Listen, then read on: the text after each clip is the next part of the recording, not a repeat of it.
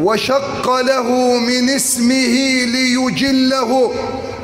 فذو العرش محمود وهو محمد.